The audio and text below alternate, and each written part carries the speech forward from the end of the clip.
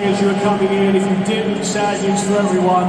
Uh, the Terry Venables, our player of many years and manager, uh, passed away this morning at the age of 80 years old. Terry joined in 1966. First training session, playing for Spurs in the forecourt, the old White Hart Lane there. He decided to go sliding in on David and got into a fight. It said a lot about the man. It's been three years as a player.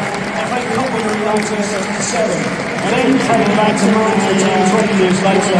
That amazing side with Gazza and Lineker, uh, won the FA Cup in 1991. His name will always be associated with ours. Send our love to his friends and family